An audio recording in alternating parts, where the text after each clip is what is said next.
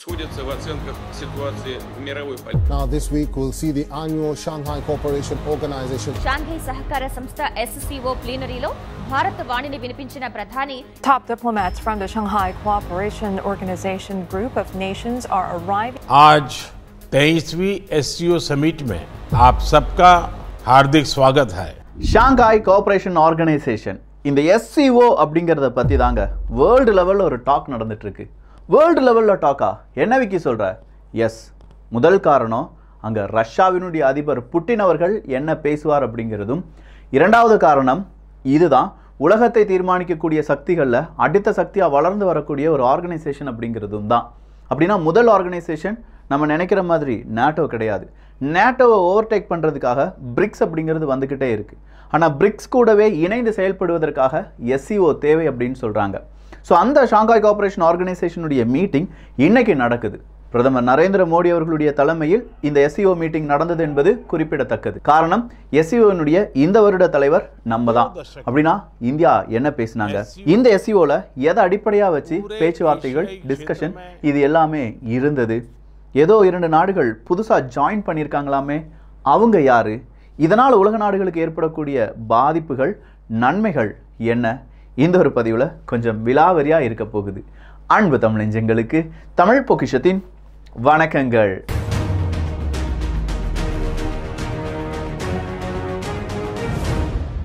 இந்த எஸ்இஓ அப்படிங்கிறதுக்கு ஒரு பெரிய அடைமொழிலாம் தேவையில்லை. எஸ்இஓ அப்படிங்கிறது ஒரு இரண்டு நாடுகளுடைய ஒட்டுமொத்தமான ஒரு கனவாக இருந்தது. அந்த இரண்டு நாடுகள் சீனா மற்றும் ரஷ்யா. ஸோ இந்த சீனா மற்றும் ரஷ்யா என்ன நினைக்கிறாங்கன்னா மேற்குலக நாடுகள் ரொம்ப பெரிய அளவில் இந்த கம்யூனிஸ்ட் நாடுகளுக்கு எதிராக அதுவும் யூரேஷியாவுக்கு எதிராக செயல்பாடுகளை செஞ்சுட்டு இருக்காங்க. நாம் என்ன செய்யணும்? ஒரு ஆர்கனைசேஷனை தொடங்கி அந்த ஆர்கனைசேஷனில் நமக்கு தேவையான முடிவுகளை எடுக்கணும். அந்த முடிவுகள் எல்லாமே மேற்குலகம் நமக்கு எதிராக எடுக்கக்கூடிய முடிவுகளை எப்படி ஒப்போஸ் பண்ணலாம் அப்படிங்கிறதாக தான் இருக்கணும். இதுதான் இவங்களுடைய அல்டிமேட் எய்ம் இதற்காக தொடங்கப்பட்டது தான் ஷாங்காய் ஃபைவ் அப்படின்னு சொல்லலாம். இந்த ஷாங்காய் ஃபைவ் அப்படின்னு சொல்கிறதுல ரஷ்யா இருந்தாங்க. சீனா இருந்தாங்க. அது இல்லாமல் கசக்ஸ்தான் கிர்கிஸ்தான் தஜிகிஸ்தான் இந்த மூன்று நாடுகளும் இருந்தாங்க. ஸோ இந்த அஞ்சு நாடுகளை உள்ளடக்கியது தான் ஷாங்காய் ஃபைவ் அப்படிங்கிற அந்த கூட்டமைப்பு. இந்த கூட்டமைப்பில் ஸ்லோவா ஸ்லோவா ஸ்லோவா இந்தியாவினுடைய நிலைப்பாடு அப்படிங்கிறது ரொம்ப இம்பார்ட்டன்ட்பா ஸோ இந்தியாவை மாற்றி வேறு எந்த முடிவுகளும் எடுக்க முடியாது அப்படின்னு தெரிஞ்ச பிறகு இந்தியாவும் அதில் ஃபஸ்ட் ஒரு ஒப்சர்வராக சேர்றாங்க. இரண்டாயிரத்தி பதினேழாவது வருடம் நாம் அதில் ஒரு பெர்மனண்ட் மெம்பராக மாறிட்டோம்.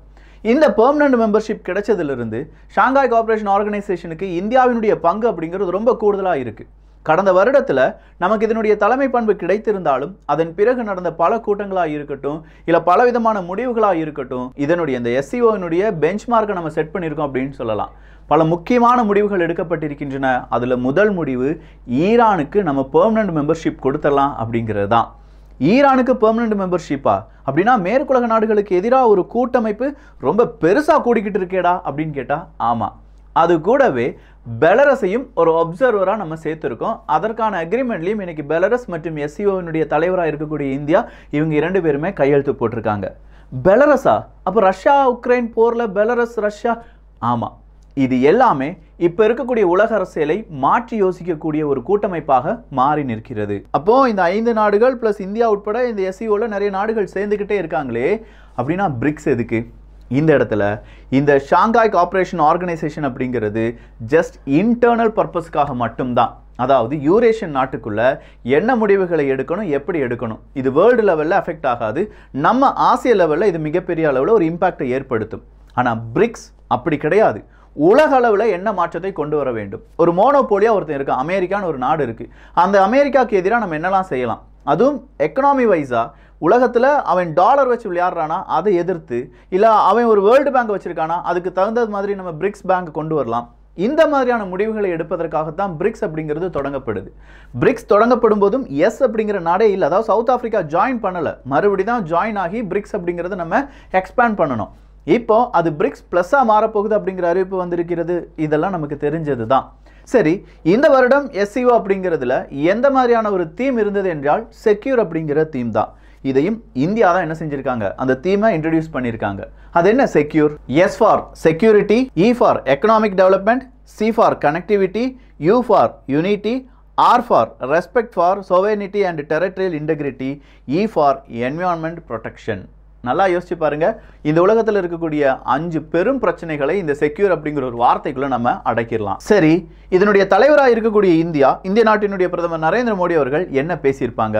அவர் பேசுனதில் ரொம்ப இம்பார்ட்டண்ட்டான ஒரு விஷயம் எந்த நாடும் ஒரு தீவிரவாதத்துக்கு அடிபணிந்து விடக்கூடாது. அதுவும் குறிப்பாக எஸ்சிஓவில் இருக்கக்கூடிய நாடுகள் தீவிரவாதத்துக்கு எதிராக இருக்க வேண்டும் அப்படின்னு சொன்னது தான் இங்கே பாகிஸ்தானும் எஸ்சிஓக்குள்ள இருக்காங்க அப்படிங்கிறது குறிப்பிடத்தக்கது.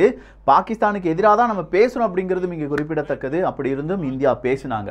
இந்தியா பேசினதோடு நிற்காம இந்தியா நேராக ஆப்கானிஸ்தான் பக்கம் போகிறாங்க ஆப்கானிஸ்தானில் அவங்களுடைய நிலப்பரப்பை நீங்கள் எந்த ஒரு நாடை டீஸ்டபிளைஸ் பண்ணுறதுக்கும் யூஸ் பண்ண விடக்கூடாது ஆப்கானிஸ்தான் அப்படிங்கிற ஒரு ரிக்வஸ்ட் வைக்கிறாங்க. எஸ்சிஓ இதை ரொம்ப பெரிய அளவில் நம்ம கவனிக்க வேண்டும். ஆப்கானிஸ்தான் மக்களுக்கு நம்ம உதவ வேண்டும்.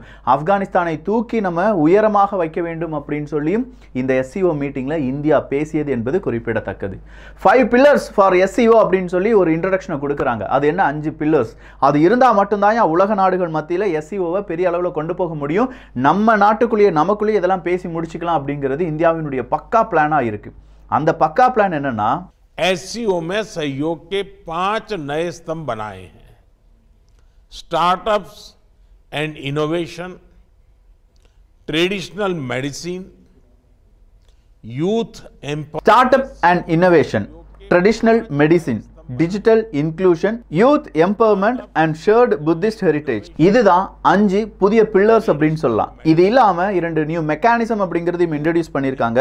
ஒன்று special working group on start and innovation அடுத்ததா experts working group on traditional medicine அப்படிங்கிறது தான் ஸோ அஞ்சு பில்லர்ஸ் அப்படிங்கிறத டிஃபைன் பண்ணிட்டாங்க.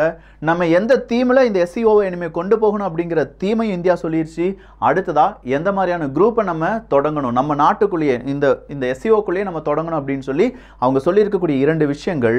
ஒன்று working group on startups and innovation அப்படிங்கிறதும் experts working group on traditional medicine அப்படிங்கிறதும் தான். இங்கே ட்ரெடிஷ்னல் மெடிசின் அப்படிங்கிறதுக்கு முக்கியத்துவம் கொடுக்க போகிறார்கள் என்பது அழுத்தமாக பதிவு செய்யப்பட்டிருக்கிறது. ஏன்னா சீனாவாக இருக்கட்டும் சீனாவில் அதிகமாக யூஸ் பண்ணுறது ட்ரெடிஷ்னல் மெடிசின் தான். நம்ம நாட்டிலையும் ட்ரெடிஷ்னல் மெடிசின் அப்படிங்கிறது இருக்குது ஆனால் பெரிய அளவில் அது எல்லார் மத்தியிலும் பேசப்படுகிறதா என்றால் சித்த மருத்துவமாக இருக்கட்டும் ஆயுர்வேதா இருக்கட்டும் இதெல்லாம் பேசப்பட்டு வருகிறது. ஆனால் இது எப்படி நம்ம மேற்குலக நாடுகளிலிருந்து பிரித்து பார்க்கலாம் அப்படிங்கிறதா இங்கே பெரும் பேசு பொருளாக மாறி நிற்கிறோம்.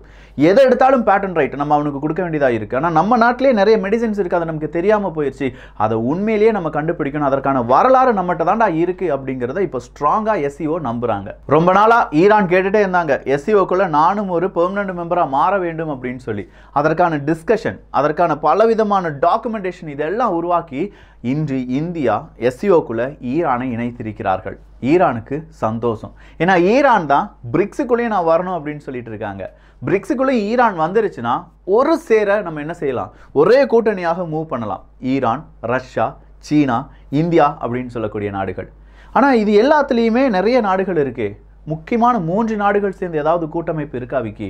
ஏன்னா இங்கே இங்கே எடுக்கக்கூடிய முடிவுகளை நம்ம மூணு பேர் மட்டும் டிஸ்கஸ் பண்ணுறதுக்கான வாய்ப்புகள் இருக்கா அப்படின்னு பார்த்தா அங்கேயும் ஒரு வாய்ப்பு இருக்குது அதுதான் ஆர்ஐசி ரஷ்யா இந்தியா சீனா. இந்த ட்ரையாங்கிள் நாடுகள் தான் எஸ்சிஓவா இருக்கட்டும் அப்படி இல்லைன்னா பிரிக்ஸா இருக்கட்டும் முடிவுகளை எடுக்க வேண்டிய நாடுகள். இந்த மூன்று நாடுகள் தான் எதிர்காலத்தினுடைய நம்பிக்கை மிக்க நாடுகளாக இருக்கும் அப்படின்னு சொல்லி பலராலும் விரும்பப்படுகிறது.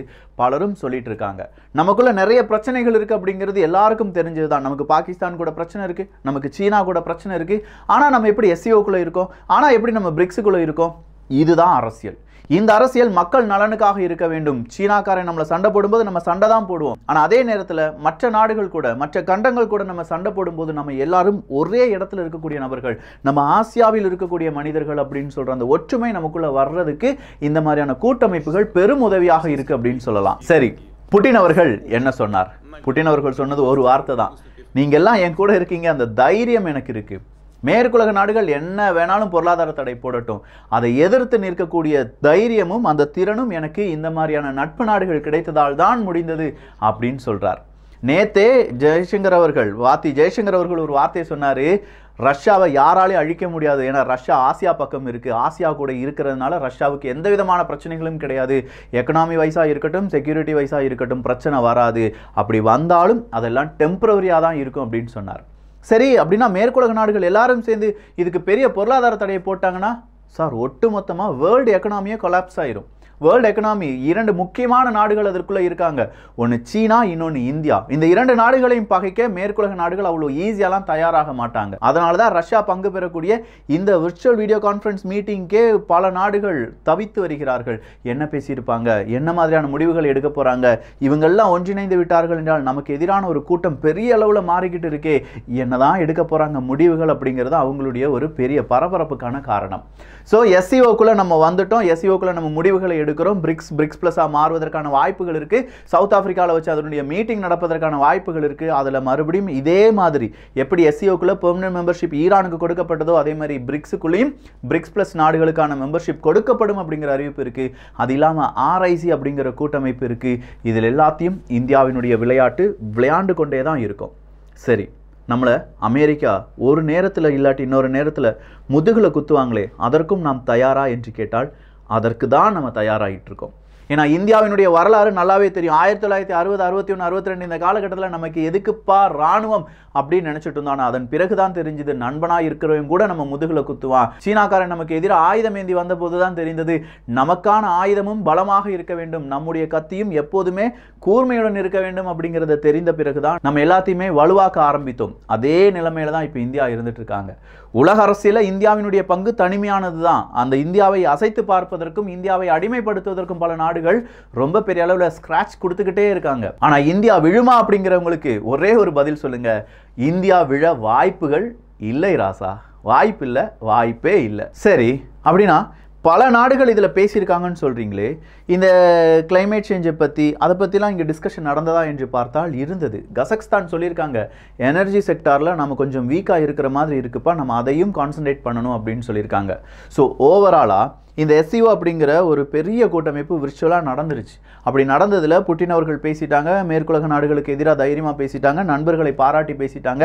இந்தியாவினுடைய தலைமை பண்பை பற்றி அவர் ரொம்ப பெரிய அளவில் பேசியிருக்கார். இவ்வளோ டாக்குமெண்ட் இவ்வளோ விதமான உழைப்புகள். ஒரு எஸ்சிஓ மீட்டிங்கு பின்னாடி நீங்கள் இவ்வளோ இம்பார்ட்டண்டான விஷயங்களை காண்பிக்கும் போது தான் நம்ம கரெக்டான பாதையில் பயணித்து வருகிறோம் அப்படின்னு சொல்லி ரஷ்யாவினுடைய பாராட்டும் இந்தியாவுக்கு கிடைத்தது என்பது குறிப்பிடத்தக்கது. நண்பர்கள் ஒன்றிணைகிறார்கள் கூடவே துரோகிகளும் எதிரிகளும் இருக்காங்க.